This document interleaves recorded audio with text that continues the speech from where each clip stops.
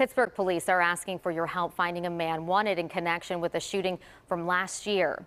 Shaman Sewell is accused of shooting someone in Terrace Village in March of 2021. The victim was found inside an apartment on Bentley Drive.